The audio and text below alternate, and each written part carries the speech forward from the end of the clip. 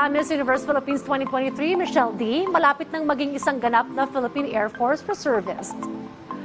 Ibinahagi ni Michelle D. sa kanyang IG post ang ilang photos niya kasama ang kanyang co-trainees at ang kanyang mother na si Melanie Marquez.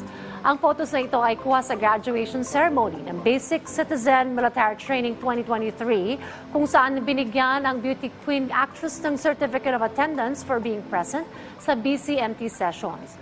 Once na makumpleto na ng beauty queen ang mga natitirang modules sa kanyang reservist training ay saka lamang siya gagraduate. Si Miss Universe Philippines 2023 ay isa ring Goodwill Ambassador ng Autism Society Philippines at ally ng LGBTQIA plus community. Nakatakdang lumaban si Michelle sa darating na Miss Universe International Competition na magaganap this November 18 sa El Salvador.